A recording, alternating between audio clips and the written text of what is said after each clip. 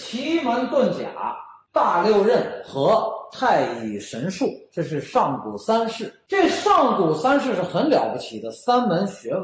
奇门遁甲和大六壬呢，中间有相通的地方。